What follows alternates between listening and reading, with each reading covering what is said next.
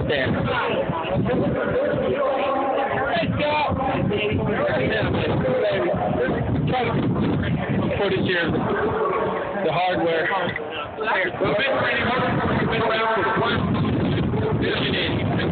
I can handle it. You got a mic on it?